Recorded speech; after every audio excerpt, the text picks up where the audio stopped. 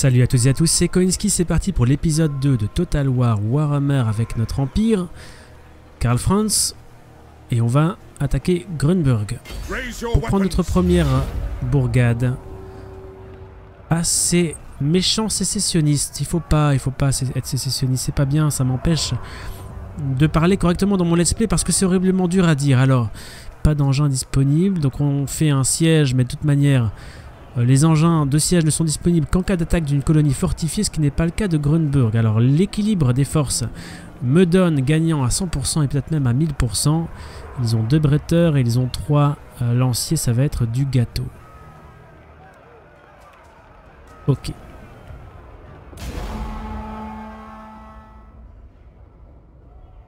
Ce sera l'occasion de tester la charge de, Franz avec, euh, avec son cheval.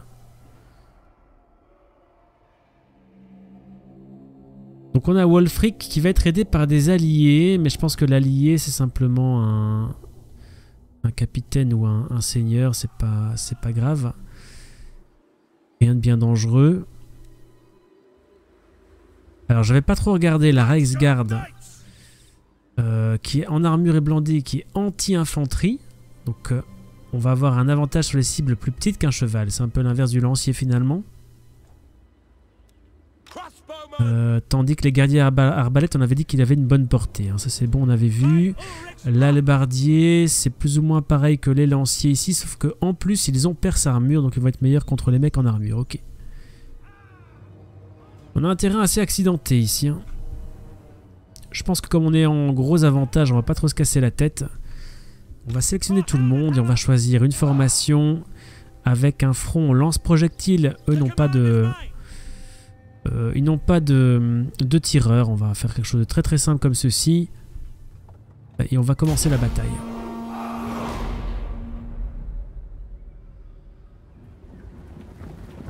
Alors voilà les ennemis. Il y a Wolfric Elborg. Bien sûr, on va attaquer avec précaution. Alors est-ce qu'ils vont se positionner sur un flanc ici? J'en sais rien sur la colline. Éventuellement, en tout cas, nous on va se positionner. Alors, tranquillement. Est-ce qu'ils vont rester là ou pas?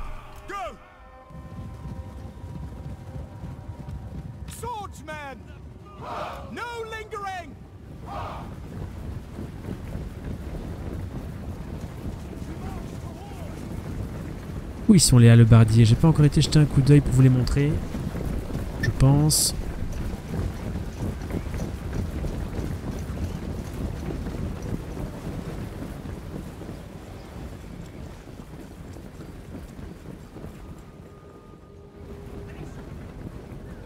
Alors, voyons voir. Ils restent... Ils campent là-bas. Ils campent là-bas. Ce qui veut dire qu'ils vont avoir un avantage? Un léger avantage grâce au relief. Euh, mais ça m'inquiète pas vraiment. Pas des masses. Parce qu'on est vraiment beaucoup plus nombreux. Donc j'ai pas... On va pas chipoter.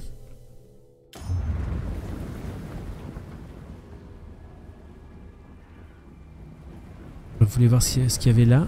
Et on va simplement y aller tranquillement. On va les forcer à venir à nous grâce à nos, à nos tireurs parce que eux n'en ont pas. Et donc je pense que là ça va un petit peu les ennuyer. Euh, parce que je vais les, abreuver de, de, flèches et de tirs de, de fusil. Jusqu'au moment où ils vont sortir du bois on va dire. Même si c'est moi qui vais être dans le bois. Vous voyez ce que je veux dire. Des collines, des vallées et des étranges caractéristiques de ce relief, commandant. Le relief peut dissimuler vos forces. Oh, je me trompe, attendez.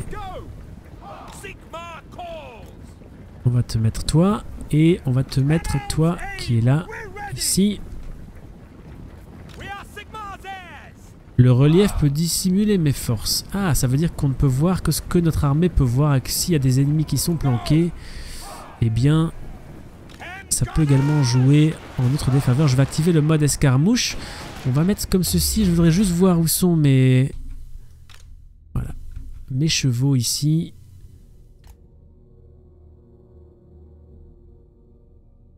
On va leur demander d'aller... Oh, j'ai oublié d'avancer mon, mon général, zut.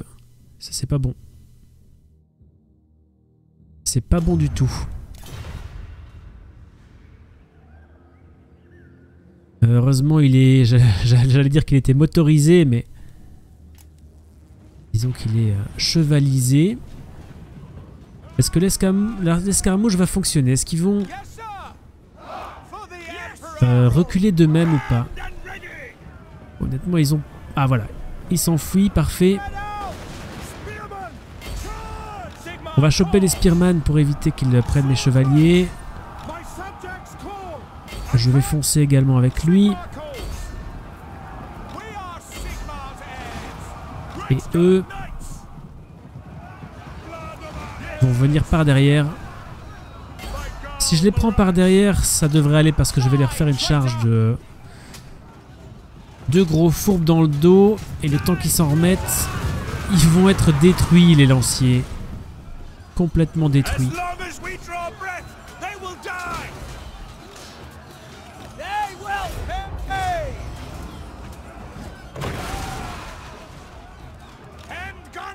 Alors attaque personne parce qu'ils ont la vue bloquée sans doute. Je vais les mettre là et en maintenant shift je vais tirer dans le dos de ceux-ci après. Donc ils vont courir jusque là et ensuite ils vont tirer ici sans avoir personne devant pour entraver ça devrait fonctionner. Voilà j'ai pas eu de perte sur ma cavalerie malgré que se soit attaqué à des lanciers c'est parce que euh, on les a euh, complètement pris par, euh, par surprise. Je vais les remettre là-bas. Voilà. Et eux, donc, on va tirer dans le dos.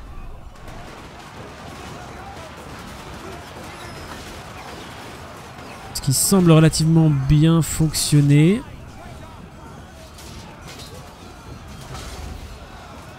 En tout cas, il n'est pas indiqué que on est gêné. Donc ça, c'est nickel. Allez, on va foncer sur les bretteurs ici avec euh, cavalerie.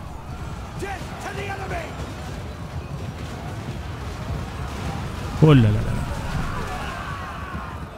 C'est une unité très très puissante de cavalerie ceux-là, hein, les Reichsguard. Et voilà, ça nous a amené la victoire. Euh, cette fois-ci, je vais pas les laisser s'en tirer. On va, avec la cavalerie notamment, faire un maximum le ménage.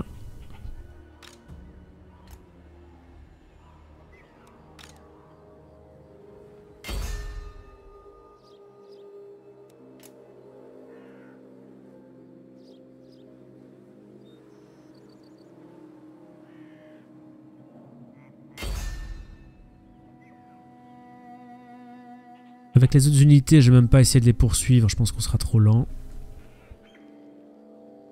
Euh, il y a bien sûr l'empereur que j'aurais pu euh, envoyer à la poursuite. Mais je pense qu'il est au-dessus de ça. Hein. On va pas l'envoyer poursuivre des bêtes lanciers dans la forêt.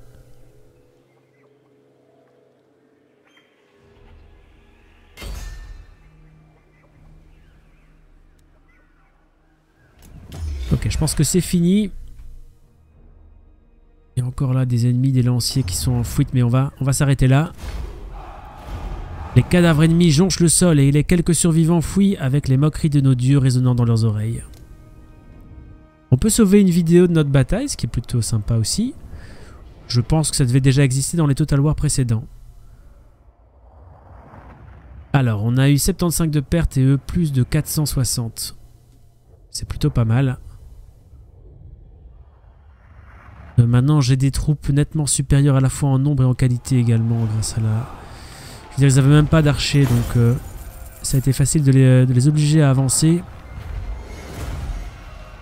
Et on a récupéré une épée de frappe. Cette épée fut arrachée aux mains d'un gardien mort depuis longtemps. Celui qui l'a brandi devient bien meilleur au combat. Bonus de charge, plus 4%, attaque en mêlée, plus 2. Ok. Alors, quatre options quand on prend, euh, en tout cas avec l'Empire, une colonie. On peut occuper.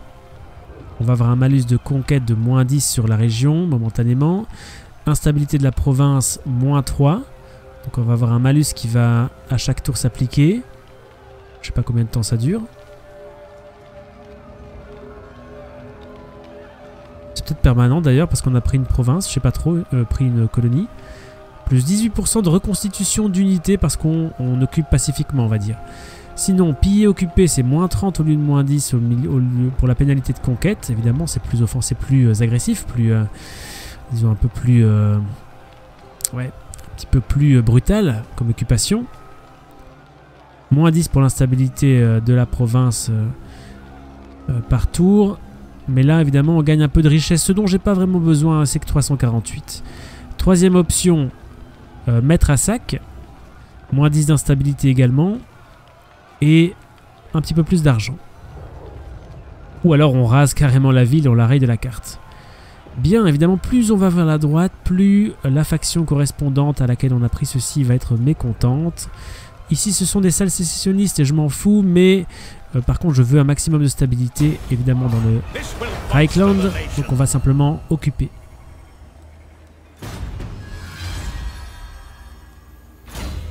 Donc, nous voici dans les détails et on a équipé automatiquement l'épée de frappe puisque je n'avais rien avant. Ok, parfait. Votre royaume fleurit, votre éminence. Mais le monde regorge toujours de nombreuses entités maléfiques. L'Empire reste divisé, et des peaux vertes ne cessent de menacer vos terres. Plus loin, on dit qu'une force maléfique s'élèverait à l'est, répandant l'ombre de la non-mort. Vous devez rester vigilant. Et on va le rester, mon ami. T'inquiète pas. On va maintenant devoir occuper, piller, raser ou mettre à sac deux colonies différentes. Petit objectif tuto, on va dire. Pas de soucis, c'est prévu. Je prévois de toute façon, comme première chose, de récupérer euh, toutes les euh, colonies, bien sûr, de, Reichland. On va les unifier. Eilhart, Helmgart, c'est la première chose à faire. Ce que j'aimerais bien faire également avant de poursuivre, c'est aller faire un petit tour au niveau de la diplomatie et voir ce que je devrais faire.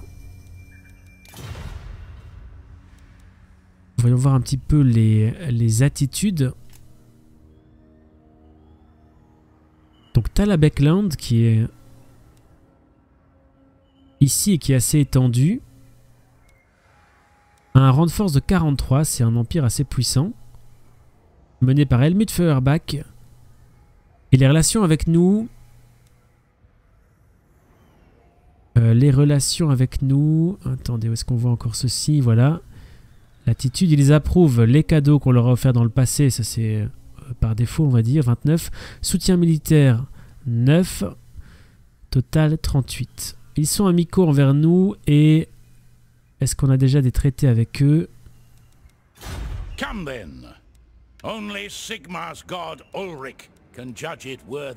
On pourrait faire un accord commercial qui va nous rapporter plus 56 de revenus. Chance de succès haut, on va le faire. Ils ont accepté l'offre.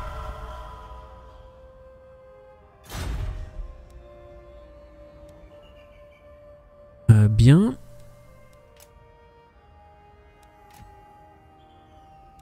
Alors évidemment, le reste de Reichland nous déteste, ce sont les sécessionnistes. On a également les Brisnuk qui sont des orques euh, qui nous détestent également. On verra comment ça va se passer avec eux. Et Marienburg. Personne d'autre ne nous aime particulièrement. Euh, la Bretonie ici.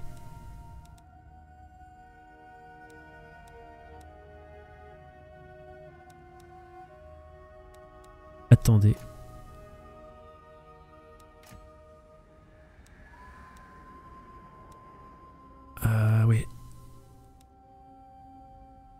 Je quitte l'écran de diplomatie ici.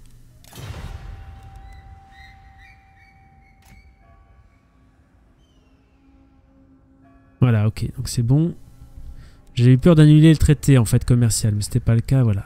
Louan, Cœur de Lion, Bretonie, Randfort 5, ils sont très faibles. Euh, on s'en fout. Et qu'est-ce qu'ils pensent de nous? Ils approuvent. Traité, guerre contre les craseurs de crâne. Total 18, ils sont neutres. Est-ce qu'on pourrait leur proposer un accord commercial également Chance de succès modérée, ils ont accepté. On a également ici un accord commercial avec eux. Est-ce qu'on peut regarder les traités? On peut pas vraiment faire par traité. Filtre de héros, filtre de colonie, filtre de siège, filtre de ressources. Donc il y a des ressources dans les villes, dans les régions, qui vont avoir des effets divers. En fait, ça peut permettre de faire des bâtiments particuliers ou d'avoir des technos particulières, je pense, ou d'en faire le commerce. Alors le Stirland, on s'entend bien avec eux également. Euh, on peut voir en fait ici les traités qu'on a déjà avec eux. On a déjà un pacte de non-agression avec eux. Euh, mais on n'a pas de commerce. Ah, pourquoi pas le faire? Pas vraiment pourquoi je ne voudrais pas le faire. Donc, euh, ils acceptent. Ça va nous améliorer nos rentrées. De toute façon, pour l'instant, on va se concentrer sur ceux qui nous aiment pas, euh, avec qui on est en guerre, et après on verra bien. Euh, mais on va soigner nos relations avec nos voisins, avec qui on s'entend bien pour l'instant. Le Whistleland ici, on est dans le vert avec eux également. Voilà, ils nous aiment bien. Qu'est-ce qu'on a comme traité avec eux pour le moment On a un pacte de non-agression.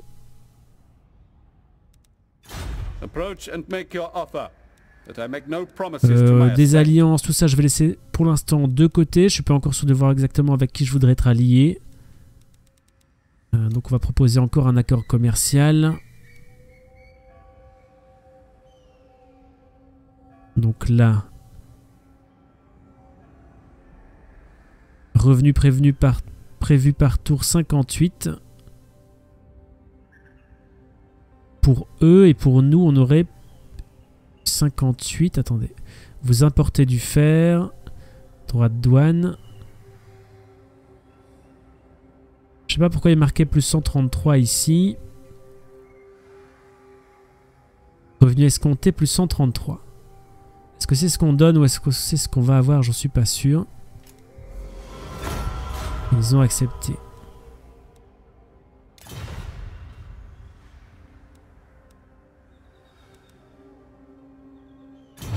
Ok, alors ce que je peux faire, c'est aller au niveau de l'Empire. envoie de l'aide aux dissidents pour déstabiliser l'Empire. Midenheim envoie des, de l'aide aux dissidents. qu'il n'y a qu'un seul maître du Reichland. On va avoir comme récompense un héros. Ça c'est bien on va, la faire évidemment, c'est prévu par le jeu dont je vais le faire. Je voudrais bien aller voir ma trésorerie. Au niveau du commerce.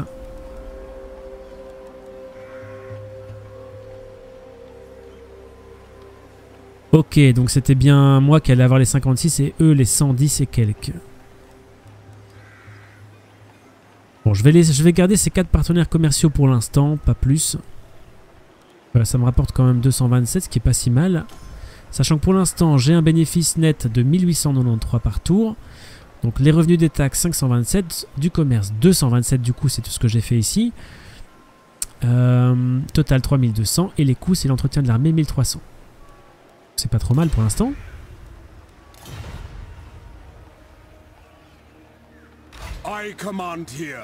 Ouais, empereur Karl Franz.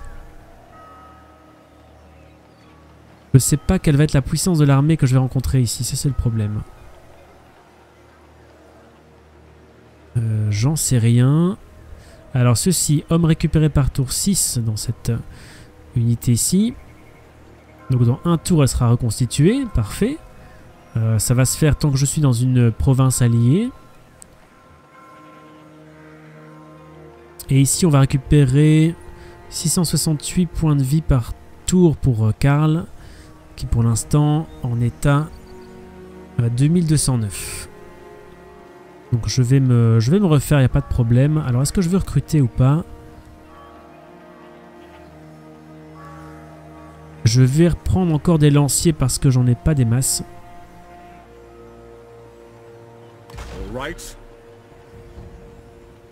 Je vais reprendre une unité de lanciers.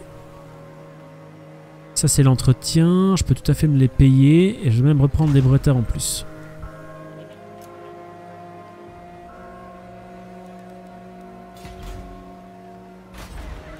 Alors allons voir un petit peu Grunberg. Alors les colonies mineures ne peuvent ériger des bâtiments que jusqu'au niveau 3, d'accord, mais j'en suis pas encore là, elle est au niveau 1 pour l'instant.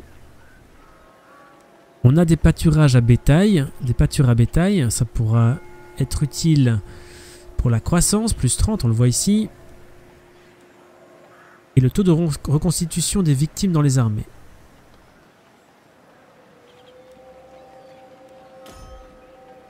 Alors, on va regarder un petit peu euh, l'écran de, construction. Tiens, on va y passer un petit peu de temps. Euh, on voit que l'écran ici croissance ne dépend pas de la colonie, mais bien régionalisé pour le Reichland.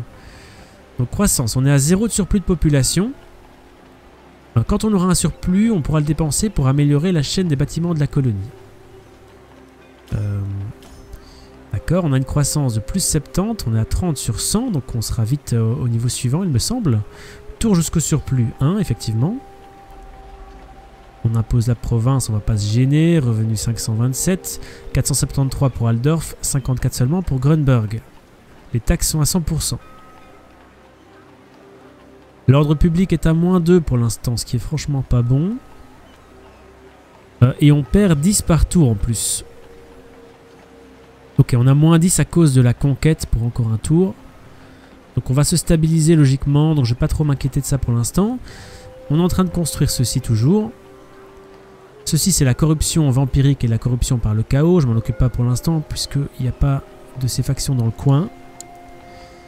Et les effets sur la province pour l'instant, euh, on a l'usure pour les morts vivants. Donc ça je m'en occupe pas non plus.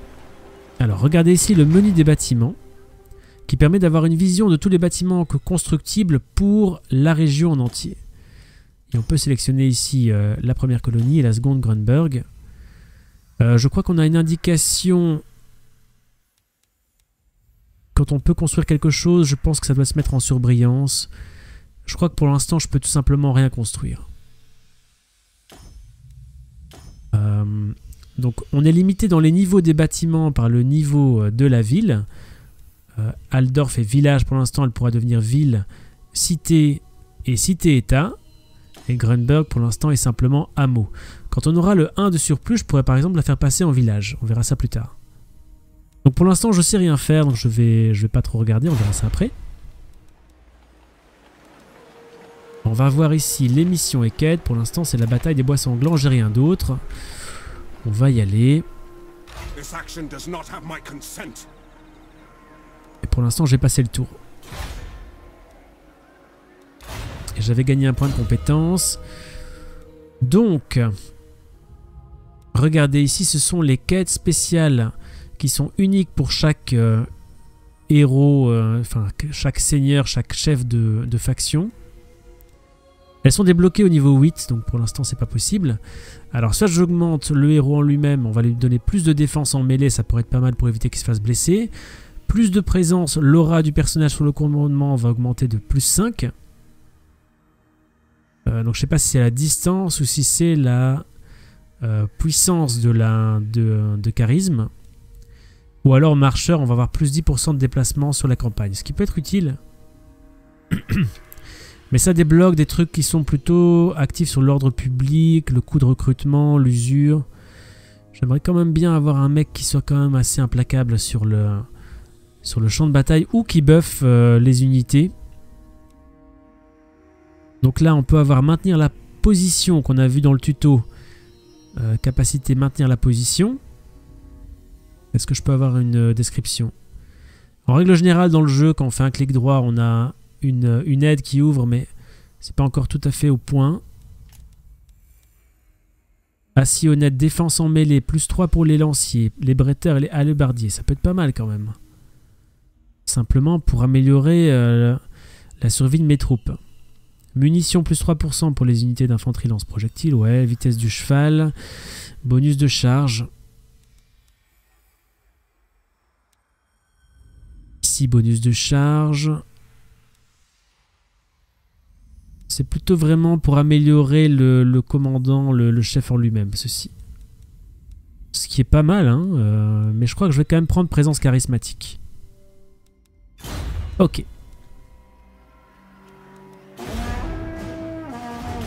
Seigneur, une puissances rivales souhaitent changer vos relations mutuelles. Alors, Helmut Feuerbach m'a contacté. Magnus le Pieux nous l'a bien enseigné. Un empire uni vaut mieux qu'un empire déchiré par le mépris et la jalousie. Il me propose un pacte de non-agression et il va me payer 600. Je demande pas mieux, moi. Je demande pas mieux, on va accepter.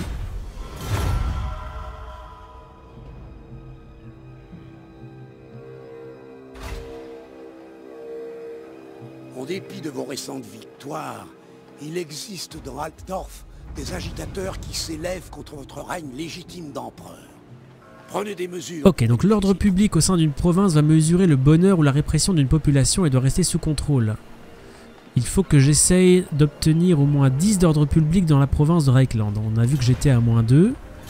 On a vu également que ça allait probablement se stabiliser tout seul. Ça monte à plus 2 par tour, donc on est à moins 12, on va monter. Je suis pas forcément pressé.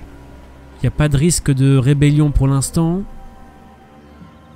Donc je vais pas m'inquiéter. Par contre ici on a une possibilité de construire. C'est indiqué ici. Donc je vais aller voir la province. On va faire ceci. Et on voit que... Est-ce que je peux demander de voir uniquement ce que je peux construire? J'ai pas l'impression. On a un surplus de 1, ce qui va permettre d'avoir une croissance. Ah voilà, c'est indiqué ici. Euh, je peux faire ceci en fait. C'est repris ici la liste. Euh, donc ici en fait vous avez les branches qui ont été commencées à, être développées. Euh, la branche colonie évidemment, la branche pâturage à bétail. Et ici une branche qui est encore bloquée. Il faudra que je puisse la débloquer plus tard.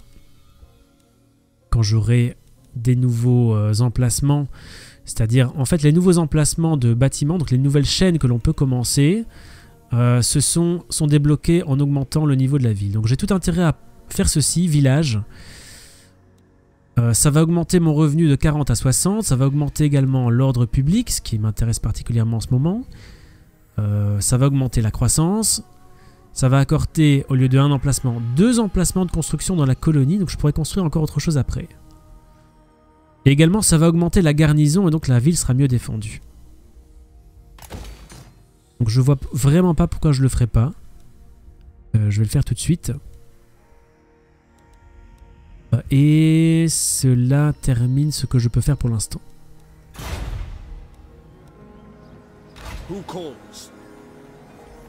Alors je pourrais faire l'armée plus grande. Hein. Il Je pourrais le, le, soutenir, une armée plus grande. Alors pourquoi ne pas le faire? J'aimerais bien garder de la place pour des armées plus évoluées. Maintenant, si je vais voir à Aldorf, par exemple...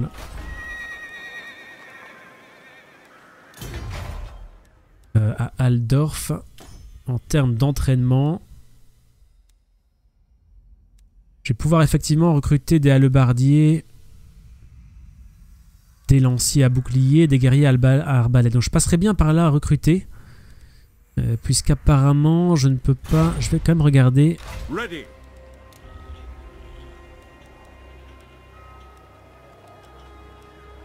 Ah, c'est bon. Je peux recruter en global. Attendez. Alebardier, impossible de recruter. Bâtiment supplémentaire requis, forgeron. Ah, apparemment, il me manque un bâtiment quand même pour faire ceci. Je pense quand même que je vais recruter alors regardez, le coût en global est deux fois plus important à peu près que le coût en local. On va regarder un peu. Le groupe de recrutement local comporte des unités provenant de vos bâtiments locaux. Elles ne peuvent être recrutées que dans la province. Ah, c'est lié à la province, ok. Euh, et donc c'est les mêmes puisque je suis dans la province. C'est logique par rapport à global. Donc on va sûrement pas recruter en global, ce serait débile. Euh, ça prend plus de tours également. On va recruter en local. Euh, je vais recruter un nouveau guerrier arbalète. Et on va recruter des lanciers à bouclier que je n'ai pas encore. Qui sont donc une version plus euh, balèze des lanciers. Ils sont également anti-large, ils ont également la défense contre la charge, mais ils sont blindés, ils ont un bouclier quoi. On voit ici quand on switch, ils ont le bouclier en plus et ils ont 39 de défense en mêlée au lieu de 33. Donc ils sont mieux, tout simplement. Euh, on va en récolter quelques-uns.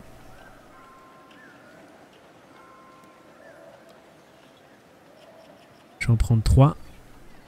Je vais quand même garder de l'argent pour éventuellement faire d'autres choses. Donc on va y aller quand même mollo. Et on va déplacer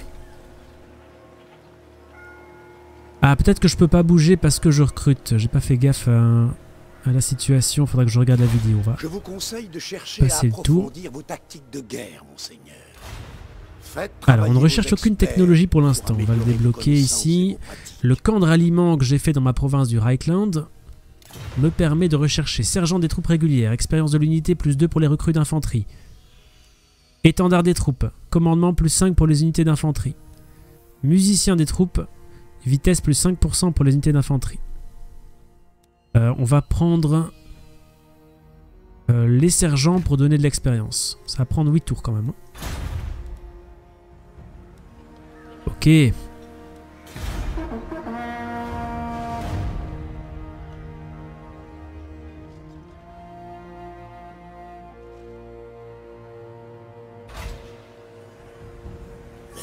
verte.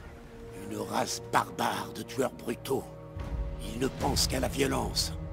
Gardez vos armes à portée de main lorsque vous négociez Ok, les capricieux vents de magie soufflent depuis les royaumes du chaos et balayent le monde. Les vents vont et viennent de façon incompréhensible. Plus les vents soufflent fort sur une région, plus vite ils se reconstitueront pendant les batailles qui s'y déroulent. Donc c'est en fait la reconstitution de mana pour les sorciers, je pense aussi.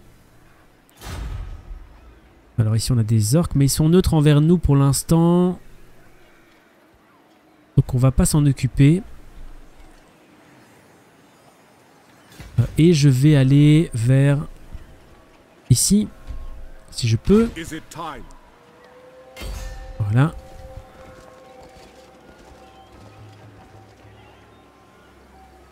Et je remarque que je suis redescendu à moins 3. Alors je pense que comme j'avais une armée dans une de mes villes, ça devait augmenter le, ça devait augmenter le bonheur, l'ordre. Euh, je pense pas pouvoir y faire grand chose pour l'instant. je vais passer.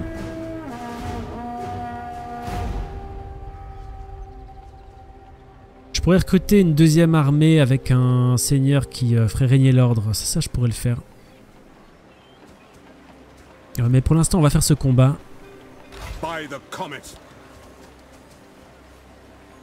Et ce sera pour la prochaine vidéo parce que ça fait déjà une demi-heure que je joue en fait ici. Euh, j'espère que ça vous a plu et qu'on se retrouvera donc pour le troisième épisode de Total War Warhammer. Salut tout le monde